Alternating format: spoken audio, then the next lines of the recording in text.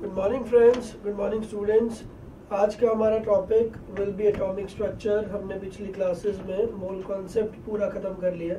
तो I hope आपको mole concept समझ में आ गया होगा और बहुत सारे क्वेश्चन ट्राई करके आपको उसमें कॉन्फिडेंस लेवल आपका बढ़ गया होगा।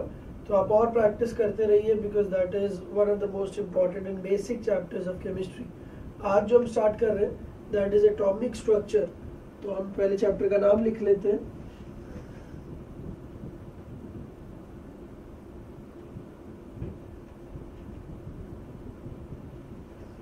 एटॉमिक स्ट्रक्चर एक्चुअली कोई नया टॉपिक नहीं है। uh, हमने नाइन्थ में टेंथ में थोड़ा सा इसके बारे में स्टडी किया हुआ है।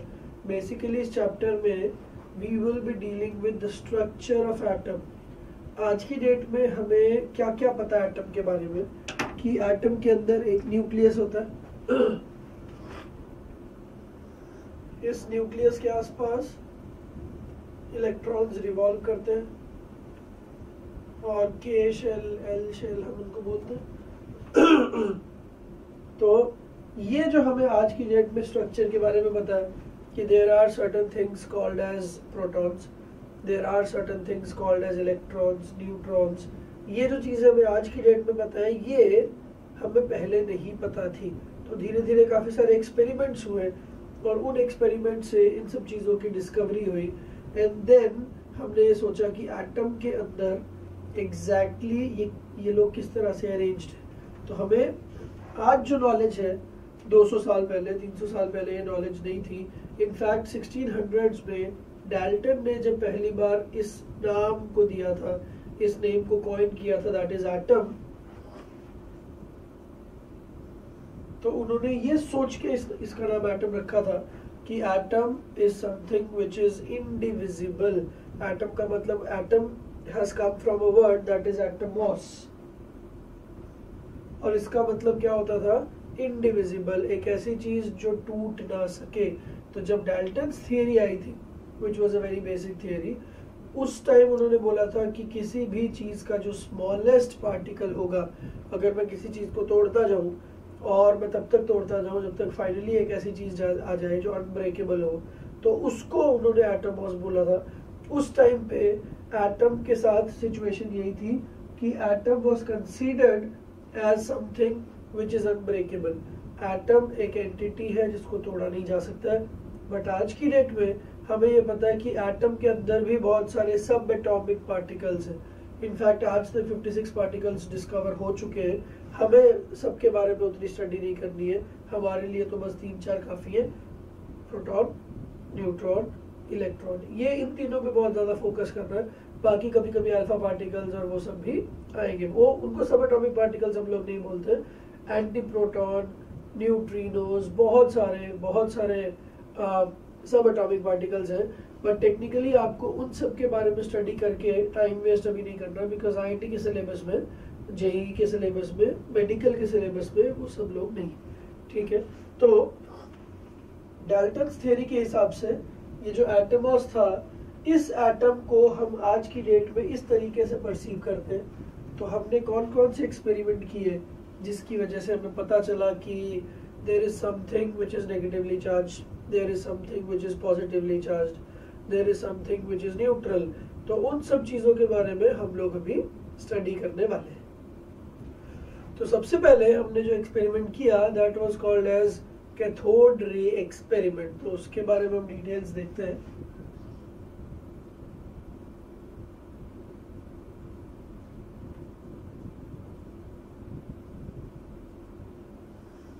कैथोड रे एक्सपेरिमेंट का प्रोसीजर क्या है? हम लोग एक ग्लास ट्यूब लेते हैं। इसके अंदर हम दो मेटल इलेक्ट्रोड्स रखते हैं और उसको हम एक हाई वोल्टेज से कनेक्ट कर देते हैं। ठीक है, हमने ग्लास ट्यूब लिया, ये मेटल के कंडक्टिंग रॉड्स लिए। और उनको एक वायर के थ्रू हाई वोल्टेज के साथ कनेक्ट कर दिया। नाउ ये बैटरी का सिंबल है। बैटरी के सिंबल में जो बड़ा वाला लाइन है दिस रिप्रेजेंट्स पॉजिटिव छोटा वाला लाइन रिप्रेजेंट्स नेगेटिव तो बड़ा वाला लाइन जिससे जुड़ा हुआ है तो दिस बिकम्स पॉजिटिव एंड छोटा वाला लाइन जिससे जुड़ा हुआ है दिस बिकम्स नेगेटिव ठीक है? तो ये पॉजिटिव हो गया, इसको हम एनोड बोल रहे हैं, ये नेगेटिव हो गया, इसको हम कैथोड बोल रहे हैं। ठीक है? नाउ हमने इस ग्लास ट्यूब में गैस रखी। कोई भी गैस आप ले सकते हो। It can be O2 it can be H2 it can be N2 any gas that you want, you can take it. तो हमने गैस रखी, पर ध्यान रखा कि this gas is at low pressure ठीक है? फिर हमने यहाँ पे एक स्विच लगाया हुआ है। उस स्विच का पर्पज ये है कि जैसे मैं इस स्विच को ऑन करूँगा जैसे मैं इस स्विच को ऑन करूँगा सर्किट कंप्लीट हो जाएगा और सडनली तब इलेक्ट्रिक करंट फ्लो करेगा। तो अब हमने क्या किया? हमने इस स्विच को ऑन कर दिया। इलेक्ट्रिक करंट फ्लो हुआ और इलेक्ट्रिक करंट फ्लो होते ही हमने ऐसा ऑब्ज़र्व किया कि कुछ रेज निकली। ठीक है? उन रेज को हमने किधर से निकलता हुआ देखा? हमें ऐसा ऑब्ज़र्व हुआ कि वो ऐसी रेज है जो कैथोड की तरफ़ से आ रही ठीक है? ये सिर्फ़ हमारा ऑब्जर्वेशन है।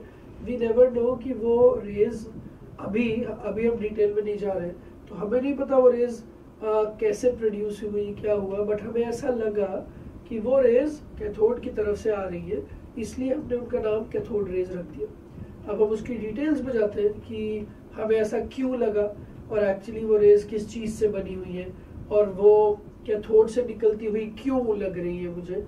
तो वो सब डिटेल्स में अभी हम जाते हैं।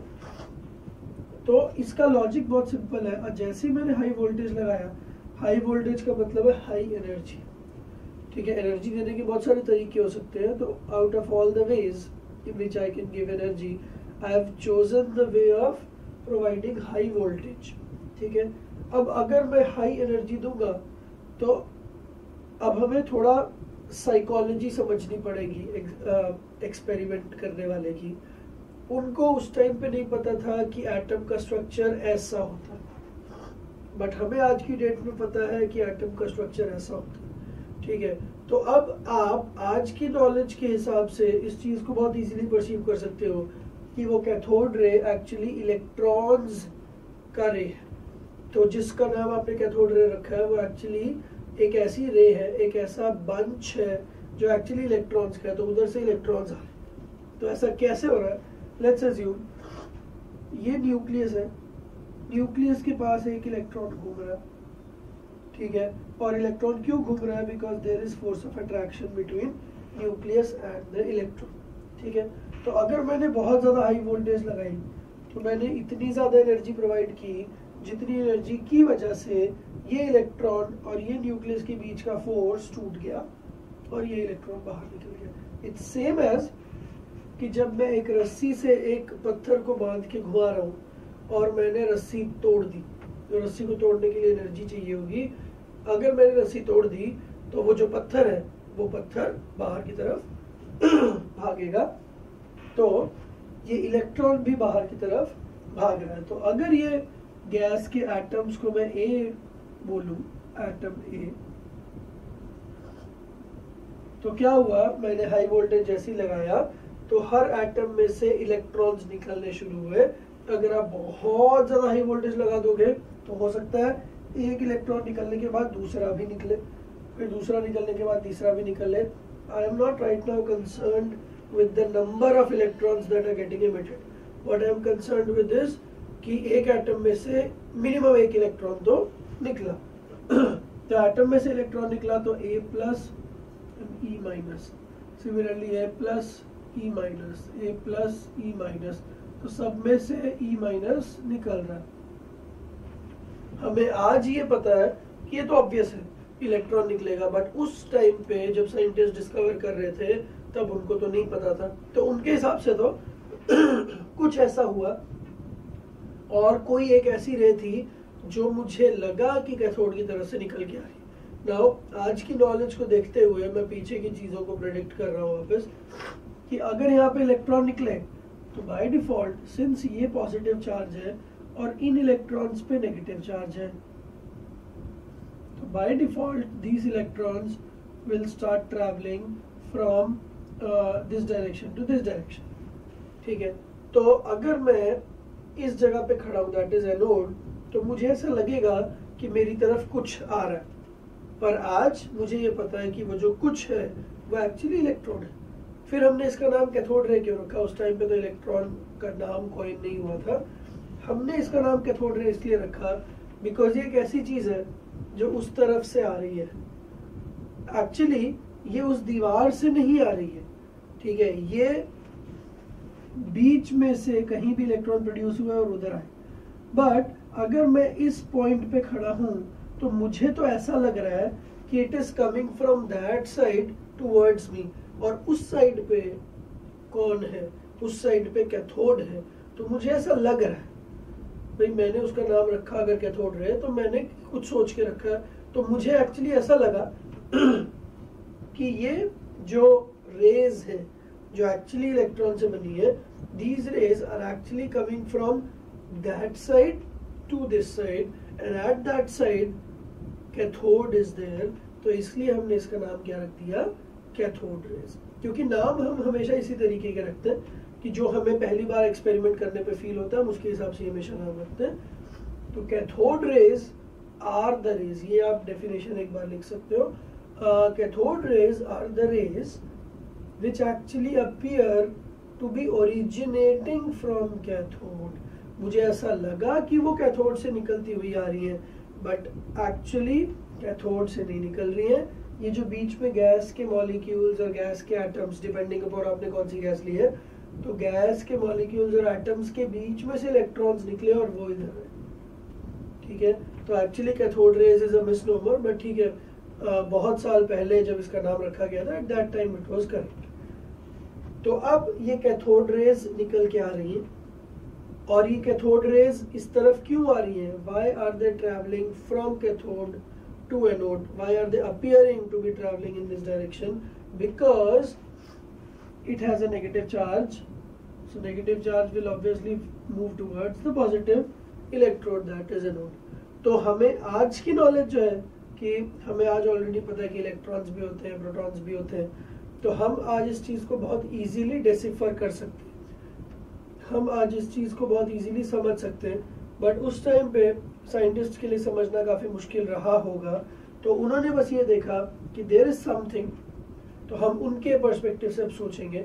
भले ही आपको आंसर तो पता है कि cathode ray is made of electrons but 200 साल पहले उनको नहीं पता था तो हम उनके पर्सपेक्टिव से सोचते हैं कि उनको ऐसा लग रहा है कि there is something which is travelling from cathode towards anode. ठीक है? नाउ उन्होंने कुछ और एक्सपेरिमेंट्स किए, जिससे उन्होंने इलेक्ट्रॉन्स और प्रोटॉन्स की प्रॉपर्टीज़ वगैरह को समझा। तो पहला एक्सपेरिमेंट जो उन्होंने ट्राई किया, वो ये था कि उन्होंने इस एनोड को, की पोजीशन को थोड़ा चेंज करने की कोशिश की। उन्होंने ऐसा किया अगर मैं इस एनोड को यहाँ की जगह ऐसे लगा दूँ तो ये पॉजिटिव चार्ज है। तो अगर कैथोड रेज आ रही है, देखो मैं इसको अभी इलेक्ट्रॉन लिख रहा हूँ बट टेक्निकली उस टाइम पर लोगों को नहीं पता है कि ये इलेक्ट्रॉन है। उनको ये भी नहीं पता है कि उस पर कोई चार्ज भी है। So they are just trying to check whether these rays are charge और नॉट तो लेट सपोज़ मैं इसको इलेक्ट्रॉन नहीं बोलता हूँ अभी। मैं इसको बोलता हूँ कैथोड रेज सी आर ठीक है? तो हमने उन्होंने क्या किया? उन्होंने इस एनोड को थोड़ा सा आ, उसकी पोजीशन चेंज कर दी और कैथोड रेज जो आ रही हैं उन्होंने ऐसा देखा कि कैथोड रेज इस तरफ़ आ गई। तो अगर उन्होंने एनोड को किसी और जगह किया तो एनोड को फॉलो कर रही है कैथोड रेज तो इससे हमें समझ में आया कि सिंस एनोड पे पॉजिटिव चार्ज है और हमारी जो कैथोड रेज है, वो पॉजिटिव चार्ज की तरफ़ जा रही है हमेशा। That means cathode rays carry negative charges तो ये हमें कैसे पता चला? हमने एनोड की पोजीशन को शिफ्ट करके देखा और हमने ऐसा पाया कि cathode rays are always following anode तो अगर कैथोड रेज एक पॉजिटिवली चार्ज चीज़ को फॉलो कर रही है दैट मीन्स कैथोड रेज के ऊपर नेगेटिव चार्ज होना चाहिए। ठीक है? नंबर टू हमने क्या ऑब्ज़र्व किया? हमने कैथोड रेज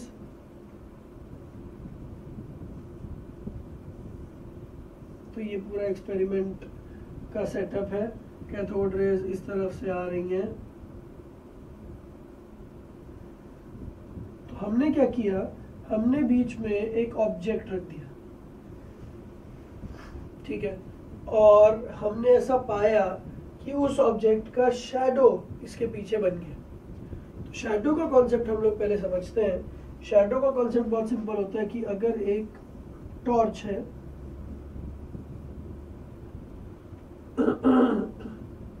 उसमें से आप लाइट डाल रहे हो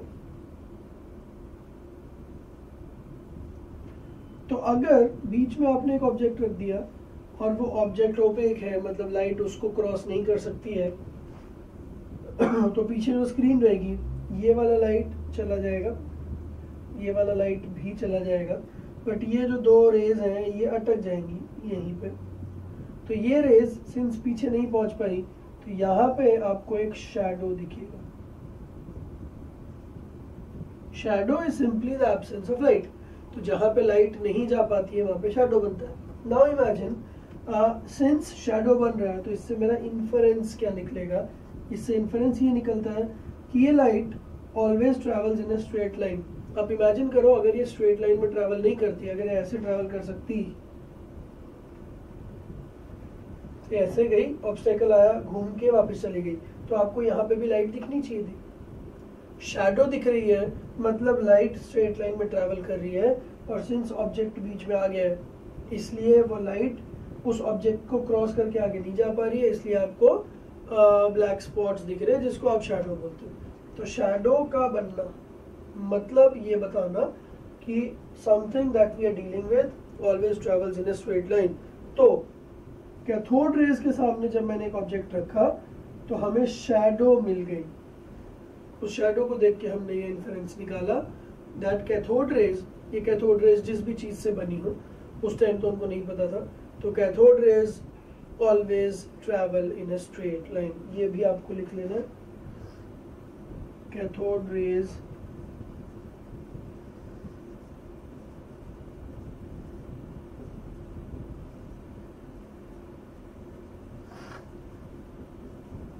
cathode rays always travel in a straight line because cathode rays form shadows ठीक है नेक्स्ट पॉइंट पे चलते हैं next point related to cathode ray experiment was it was found that cathode rays carry momentum momentum का मतलब है cathode rays have an impact अगर cathode rays किसी चीज़ से टकराएँगी तो उसका कुछ इम्पैक्ट फील होगा, उसका मोमेंटम होगा। वो हमें कैसे पता चला? मोमेंटम जज करने का तरीका सिंपल सा है कि अगर मैं कोई सामने चीज़ रख दूँ, और लेट सपोज़ मैंने एक चीज़ रखी और उसके ऊपर मैं बॉल्स को लगातार फेंक के मार रहा हूँ। ठीक है, मेरे पास बहुत सारे टेनिस बॉल्स हैं और मैं टेनिस बॉल्स को बहुत ज़ोर ज़ोर से उस पर्टिकुलर चीज़ पे मार रहा हूँ। तो अगर मोमेंटम है इन टेनिस बॉल्स में तो वो इम्पैक्ट होगा, वो इस तरह से टकराएगा। और अगर टकराएगा तो फिर इस चीज़ पे भी कुछ ना कुछ इम्पैक्ट होगा। आप इमेजिन करो what is the principle behind the working of a windmill windmill क्या होता है? एक बहुत बड़ा पंखा होता है। और विंड की एनर्जी विंड के मोमेंटम को यूज़ करके वो घूमता है। तो क्या होता है? एक पंखा है, उस पर विंड आई और विंड ने अपना मोमेंटम ट्रांसफ़र किया तो वो पंखा घूमने लग गया। और वो पंखा घूमने लग गया, उससे हमने मोटर रोटेट करवाई और इलेक्ट्रिसिटी प्रोड्यूस कर ली। तो एक्चुअली विंड के मोमेंटम को हमने यूज़ किया ताकि वो पंखा घूम सके और वो पंखा घूमने से हमने मोटर चला ली। ठीक है तो यहाँ पे भी ऐसा ही होगा। हमें कैसे पता चलेगा कि कैथोड रेज में मोमेंटम है या नहीं? तो कैथोड रेज यहाँ से आ रही हैं। मैंने बीच में एक बहुत ही छोटा सा विंड मिल टाइप का ही चीज़ रखा। और वो बहुत छोटा है। ठीक है? और मैंने देखा कि ये छोटा सा पंखा, छोटा सा व्हील ये रोटेट करने लग गया। तो ये रोटेट क्यों हो रहा है? क्योंकि हो सकता है कि कैथोड रे जिस चीज़ से बनी है, उसमें मोमेंटम होगा। और उसने अपना मोमेंटम ट्रांसफ़र कर दिया होगा और इसीलिए पंखा घूमने लग गया। ठीक है? तो अभी तक हमें टोटल तीन चीज़ें पता चल चुकी हैं। Number one cathode rays carry negative charge ठीक है? क्यों? कैसे पता चला? क्योंकि वो पॉजिटिव की तरफ़ जा रहा था बार बार number two cathode rays travel in a straight line. Number three, cathode rays carry moment तो ये तो ये तीन चीज़ें तो काफ़ी ज़्यादा इंपॉर्टेंट हैं। बट जो फोर्थ पॉइंट आने वाला है that is the most important point और उससे हमें ये पता चला था कि इलेक्ट्रॉन नाम की कोई चीज़ होती है। नाम तो खैर हम ही ने रखा है, पर इलेक्ट्रॉन नाम का एक पार्टिकल है, एक ऐसा पार्टिकल जिस पे चार्ज होता है, जिस पे मास होता है। अभी तक हमें क्या पता चल चुका है कि उस पे नेगेटिव चार्ज है, जो हमें पता है इलेक्ट्रॉन पे नेगेटिव चार्ज होता है। फिर इट कैरीज मोमेंटम मोमेंटम का फॉर्मूला अगर आप फिजिक्स के हिसाब से देखो, अभी तक तो आपने नहीं पढ़ा होगा, पर फिजिक्स के हिसाब से जो मोमेंटम का फॉर्मूला होता है, वो होता है मास इनटू वेलोसिटी ठीक है? Anything which moves has a velocity तो अगर ये इलेक्ट्रॉन्स भी मूव कर रहे हैं तो इनमें वेलोसिटी तो है।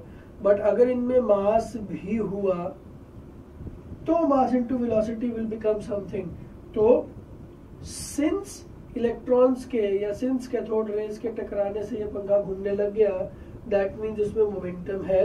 दैट मीन्स कैथोड रे जिस भी पार्टिकल से बनी है, उसमें मास भी है। ठीक है, हम आगे चल के देखेंगे कि इलेक्ट्रॉन का mass 9.1 into ten to the minus thirty one होता। इसके लिए भी हमने एक्सपेरिमेंट्स किए। तो हर चीज़ जो हमें आज पता है, वो कभी ना कभी एक एक्सपेरिमेंट के थ्रू डिस्कवर हुई थी। बट फ़िलहाल, हमें जितनी नॉलेज अभी है, हम उसको बेस बना के उसके आगे बढ़ने की कोशिश करेंगे। और थोड़ा हिस्टोरिकल बैकग्राउंड जानना ज़रूरी है कि जो आपको आज पता है, वो हमें कैसे पता चला कौन कौन से एक्सपेरिमेंट्स हुए, जिससे कि ये चीज़ें सामने आई। तो मोमेंटम है दैट मींस मास है। तो कैथोड रेज ऐसी चीज़ से बनी है, जिसका मास भी है और जिसका चार्ज भी है। ठीक है? अब फाइनल चीज़। E by M ratio point number four, that is the most important point of this thing. E by M ratio अगर आपसे कभी भी क्वेश्चन पूछा जाता है, भले ही बोर्ड्स में, भले ही कहीं भी रिगार्डिंग कैथोड रे एक्सपेरिमेंट तो आपको ये तीन पॉइंट्स तो लिखने ही है। पर सबसे ज़्यादा इंपॉर्टेंट पॉइंट यही है, क्योंकि अगर आपने ये वाला पॉइंट नहीं लिखा तो आपको आधे नंबर ही मिलेंगे। सबसे important point E by M ratio है, उसको ध्यान में देना है। ई बाय एम रेशियो को हम पहले समझते हैं, फिर इस पॉइंट में क्या बोला गया है, वो हम देखते हैं। ई बाय एम रेशियो मतलब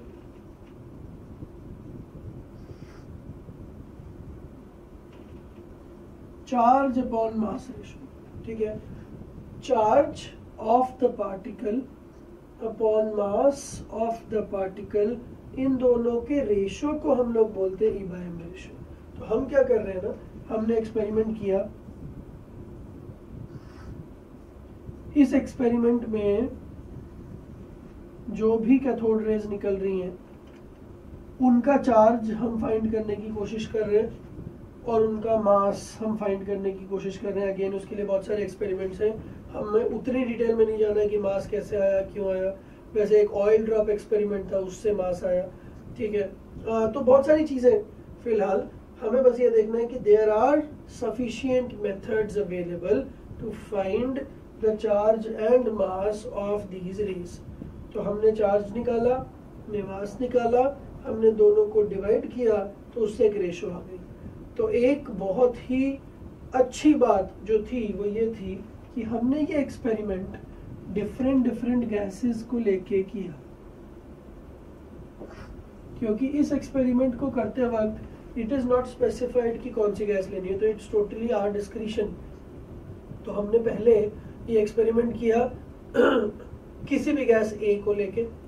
फिर हमने यही एक्सपेरिमेंट किया गैस बी को लेके, फिर हमने ये एक्सपेरिमेंट किया गैस सी को लेके। तो आप गैसेस कोई भी चेंज कर सकते हो। ठीक है हाइड्रोजन और ऑक्सीजन और nitrogen anything anything that you want तो हमने डिफरेंट डिफरेंट गैसेस को लेके जब ये एक्सपेरिमेंट किया तो हमने ये पाया कि गैसेस भले ही डिफरेंट थी बट उनमें से जो कैथोड रेज निकल रही थी, उन सब का E by M ratio was found to be same अब ये थोड़ा अजीब सा है सुनने में कि मैंने डिफरेंट डिफरेंट गैसेस को लेके ये एक्सपेरिमेंट किया। तो होना तो ऐसा चाहिए था कि डिफरेंट डिफरेंट गैसेस में से डिफरेंट डिफरेंट रेज निकलती। उनका कॉम्पोजिशन अलग होता। बट हमने ऐसा ऑब्ज़र्व किया through experiments that whichever gas you might take while doing the experiment, but the E by M ratio of cathode rays was always found to be same ठीक है तो ये लाइन एक लिखने वाली लाइन है, इसको आप लिख लीजिए। Irrespective of the nature of gas taken irrespective of the nature of gas taken while doing the experiment the E by M ratio of cathode rays always came out to be the same ठीक है इस चीज़ पे थोड़ा elaborate करते हैं कि ऐसा क्यों हुआ? और इससे मुझे क्या समझ में आता है? मैं कोई भी आइटम लूँ, मैं कोई भी गैस लूँ, जब मैं उस पर हाई वोल्टेज लगाऊँगा तो उसमें ब्रेक डाउन हो जाएगा। हमें आज की डेट में पता है कि ब्रेक डाउन क्यों हो रहा है? क्योंकि न्यूक्लियस के आसपास इलेक्ट्रॉन्स हैं जो घूम रहे हैं, ठीक है? हाँ ये बात ज़रूर है कि अगर आप हाइड्रोजन का आइटम लेते हो तो हाइड्रोजन के आइटम में एक छोटा सा न्यूक्लियस है और एक ही इलेक्ट्रॉन घूम रहा है। अगर आप ऑक्सीजन का आइटम लेते हो तो उसमें एक न्यूक्लियस है, उसके आसपास आठ इलेक्ट्रॉन्स घूम रहे हैं। नाइट्रोजन के आइटम में सात घूम रहे हैं। तो ये जो इलेक्ट्रॉन्स का नंबर है that is changing but ultimately in general हो क्या रहा है? न्यूक्लियस के आसपास इलेक्ट्रॉन घूम रहा ठीक है? और न्यूक्लियस और इलेक्ट्रॉन के बीच में एक इलेक्ट्रोस्टैटिक फोर्स ऑफ़ अट्रैक्शन है। और हमने जब हाई वोल्टेज लगाया तो एक्चुअली हमने उस इलेक्ट्रोस्टैटिक फोर्स ऑफ़ अट्रैक्शन को तोड़ दिया। और अगर तोड़ दिया तो निकलेगा कौन इलेक्ट्रॉन लॉजिक सिंपल है कि हो सकता है कि ये जो इलेक्ट्रोस्टैटिक फोर्स ऑफ़ अट्रैक्शन है, ये वीक थी तो इजीली टूट। गई हो सकता है ये उतनी वीक नहीं थी स्ट्रॉन्ग थी तो थोड़ी मुश्किल से टूटी। पर अगर आपने बहुत हाई वोल्टेज दे दी है तो चाहे वीक हो, चाहे स्ट्रॉन्ग हो तो टूट जाएगा। तो जो फोर्स है अगर इन दोनों के बीच में फोर्स टूट गया तो ये इलेक्ट्रॉन बाहर की तरफ़ आएगा। और इसी इलेक्ट्रॉन को तो मैं कैथोड रे बोल रहा हूँ। So now the important point is कि चाहे हाइड्रोजन हो, चाहे नाइट्रोजन हो, चाहे ऑक्सीजन हो, चाहे सोडियम हो इलेक्ट्रॉन को निकालने के लिए डिफरेंट एनर्जीज चाहिए होंगी। क्योंकि हाइड्रोजन का electron is in first shell तो न्यूक्लियस के बहुत क्लोज है। सोडियम का सोडियम में 11 इलेक्ट्रॉन्स हैं तो जो इलेक्ट्रॉन सबसे इजीली निकल सकता है वो सबसे दूर वाला है। तो फोर्सेस अलग चाहिए बट अल्टीमेटली निकलेगा कौन? निकलेगा तो इलेक्ट्रॉन ठीक है? तो अल्टीमेटली जो भी कैथोड रेज निकल रही हैं that is actually bunch of electrons तो उनका सबका चार्ज भी सेम है, उनका सबका मास भी सेम है। हाँ number of electrons might vary कि हाइड्रोजन में तो एक ही इलेक्ट्रॉन है तो एक ही निकल सकता है। हाइड्रोजन में से दो तो नहीं निकल सकते। बट ऑक्सीजन को अगर आपने बहुत ज़्यादा हाई वोल्टेज लगा दिया तो there might be the case कि दो निकल जाए। ठीक है? तो उसको हम कंट्रोल कर सकते हैं। हम जितना चाहे हाई वोल्टेज लगा सकते हैं। बट अल्टीमेटली चाहे दो इलेक्ट्रॉन निकले, चाहे एक निकले, चाहे तीन निकले, पर उसका नाम तो इलेक्ट्रॉन है। ठीक है? अगर नंबर बढ़ भी गया तो भी उसका चार्ज तो सेम रहेगा। तो अल्टीमेटली एक इलेक्ट्रॉन के लिए चार्ज भी सेम है मास भी सेम है। तो चार्ज बाय मास रेशो तो सेम आना ही है। हमारी आज की नॉलेज से हमें ये बहुत ही ऑब्वियस फील हो रहा है। ठीक है, ये मैंने आपको इसी तरह बताया कि आपको ऑब्वियस फील हो बट जस्ट इमेजिन कि 200 साल पहले, ठीक है, जब ये सब एक्सपेरिमेंट्स हो रहे थे, तब उनके लिए ये बहुत ही एस्टॉनिशिंग बात थी कि कोई भी गैस ले ले gas A gas B gas C किसी भी गैस को लेने पे कैथोड रेस का composition is still the same तो इस चीज़ से उन्होंने ये इन्फ्रेंस निकाला which was a very intelligent inference मैं कोई भी गैस ले रहा हूँ, उसमें से जो कैथोड रे का कॉम्पोजिशन है, वो सेम निकल रहा है। तो इसका मतलब ये हुआ कि किसी भी एटम में, आप दुनिया का कोई भी एटम ले लो, उसमें से कैथोड रे हमेशा निकलेगी। मतलब कैथोड रे जिस भी चीज़ से बनी है वो चीज़ हर एटम में पाई जाती है।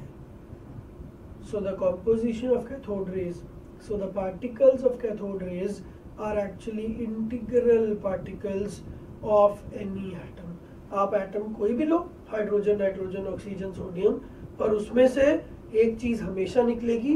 वो चीज़ जिससे कैथोड रेज बनती है, वो चीज़ जो नेगेटिवली चार्ज होती है, वो चीज़ जिसपे मास होता है। और फिर फाइनली हमने इस चीज़ का नाम, हमने इस पार्टिकल का नाम इलेक्ट्रॉन रख दिया और इससे हमें ये पता चला कि एक्चुअली हर एटम आप किसी भी एटम की बात करो, कोई भी गैस कोई भी एलिमेंट हर एटम के बीच में इलेक्ट्रॉन्स तो होते ही हैं। So that means now electron has become an integral part of an atom तो atom is not the smallest unit atom के अंदर भी कुछ है, जो एटम से भी छोटा है तो हमें पता चल गया कि उसका उसका नाम तो हमने इलेक्ट्रॉन रखा, पर हमें पता चल गया कि इसकी प्रॉपर्टीज़ क्या है। वो एक ऐसी चीज़ है जो नेगेटिवली चार्ज है। वो एक ऐसी चीज़ है जिस पे मास है। वो एक ऐसी चीज़ है जो स्ट्रेट लाइन में ट्रैवल करता है। ठीक है? तो ये सब चीज़ें हमें इस कैथोड रे एक्सपेरिमेंट से पता चल गई। अब किस किस तरह से लॉजिक लगने शुरू होंगे एक बार अगर इलेक्ट्रॉन्स का डिस्कवरी हो गया, उसके बाद फिर आगे प्रोटॉन्स का न्यूट्रॉन्स का, वो सब डिस्कवरी भी हो जाएगा। उसके बहुत सारे डिटेल्स हैं बट उतने डिटेल्स हमारे सिलेबस में नहीं है। हाँ आप इतना ज़रूर याद कर सकते हो एक बार कि इलेक्ट्रॉन का डिस्कवरी किसने किया प्रोटॉन का किसने किया न्यूट्रॉन का किसने किया। ठीक है बुक्स में काफ़ी सारी चीज़ें लिखी होती हैं। उसमें डेट और ईयर भी लिखा होता है। कि किस ईयर में उसकी डिस्कवरी हुई? That is not very important उस पर क्वेश्चन नहीं आते और अच्छे एग्ज़ाम में ये वाले क्वेश्चन नहीं होते कि प्रोटॉन का डिस्कवरी इसने किया और इलेक्ट्रॉन का इसने किया। ठीक है? बट टेक्निकली अभी यहाँ तक जब हमने पढ़ लिया तो हमें समझ में आ गया कि हर एटम में एक चीज़ होती है जो नेगेटिवली चार्ज होती है जिसपे मास होता है। और उस चीज़ का नाम हमें कुछ तो रखना है तो हमने उसका नाम रख दिया इलेक्ट्रॉन ठीक है? अब लॉजिकली एक चीज़ और समझनी है कि एटम्स आर जनरली न्यूट्रल तो अगर मैं किसी एटम की बात कर रहा हूँ तो ये न्यूट्रल है। तो न्यूट्रल के दो मतलब हो सकते हैं। न्यूट्रल इज़ या तो इसमें कोई चार्ज ही नहीं है। या न्यूट्रल का मतलब जितना पॉजिटिव चार्ज है, उतना नेगेटिव भी होना चाहिए, तब भी कोई चीज़ न्यूट्रल होती है। तो हमें ये पता चल गया कि एटम कोई भी हो, उसमें कैथोड रेस जिस चीज़ से बनती है, वो वाला पार्टिकल तो होता ही है। जो कि जिसका नाम हमने अभी अभी इलेक्ट्रॉन रखा। तो अगर इसके अंदर वो इलेक्ट्रॉन्स नाम की चीज़ है, मुझे नहीं पता कितनी है, ठीक है, क्योंकि एटम टू एटम वेरी करेगी, पर है। तो अगर उसमें इलेक्ट्रॉन नाम की चीज़ है मतलब नेगेटिव चार्ज तो वहाँ से आ रहा है। बट ओवरऑल तो ये एटम न्यूट्रल है। तो अगर नेगेटिव चार्ज इलेक्ट्रॉन्स की वजह से आ रहा है तो इस नेगेटिव चार्ज को बैलेंस करने के लिए कुछ तो पॉजिटिव होना चाहिए। और जितना नेगेटिव है, उतना ही होना चाहिए ताकि ओवरऑल न्यूट्रल हो जाए। तो उस पॉजिटिव को हम लोगों ने फिर नाम दिया प्रोटॉन ये इतना इजीली डिस्कवर नहीं हुआ था जितना इजीली मैंने आपको बता दिया बट हाँ इससे ज़्यादा डिटेल्स हमारे सिलेबस के लिए कुछ फ़ायदेमंद नहीं होगी। तो हमें वो सब चीज़ें नहीं पढ़नी है। हाँ नॉलेज के लिए हम लोग बहुत सारी चीज़ें पढ़ सकते हैं। You can watch documentaries on YouTube you can you can read Wikipedia knowledge के लिए वो सब ठीक है but exam point of view से ये इलेक्ट्रॉन के लिए cathode ray experiment that was quite useful important but proton के लिए उतना ज़्यादा इम्पोर्टेंट फ़िलहाल नहीं, ठीक है? तो पहले इलेक्ट्रॉन आ गया, फिर साइमल्टेनियसली उसे चार्ज को बैलेंस करने के लिए प्रोटॉन आ गया, फिर काफ़ी टाइम बाद ऐसा देखा गया कि न्यूक्लियस का जो मास है वो उतना नहीं है जितना हम एक्सपेक्ट कर रहे हैं। So there is something else तो फिर न्यूट्रॉन आ गए। तो ऐसे धीरे धीरे करके एक प्रोग्रेशन हो गया। और हमें थोड़ा थोड़ा ये फील आ गया कि इलेक्ट्रॉन्स को बैलेंस करने के लिए ही प्रोटॉन्स के बारे में थियरीज आई। ठीक है? तो ये basic basic structure of atom अब हम थोड़ी देर बाद स्ट्रक्चर ऑफ़ एटम पे चलेंगे कि जब डाल्टन ने ये बोला था that atom is the smallest part atom is the smallest particle तो ये बहुत ही इजी था क्योंकि उन्होंने बोल दिया कि ये एटम है। ये स्मॉलेस्ट पार्टिकल है, आप इसको तोड़ नहीं सकते हो तो चैप्टर क्लोज बात खत्म। पर अभी हमें पता चल गया कि नहीं डाल्टन ने गलत बोला था, ये एटम इनडिविजिबल नहीं है, इसके अंदर भी कुछ है इलेक्ट्रॉन्स है प्रोटॉन्स है, कुछ और है तो अगर इसके अंदर है तो इसके अंदर उनका प्लेसमेंट क्या है? क्या सब लोग सेंटर में है? क्या सब लोग फैले हुए हैं? सिचुएशन क्या है? वो चीज़ देखनी है थोड़ी देर। तो पहले कैथोड रे एक्सपेरिमेंट हो गया। Now we'll start with anode ray experiment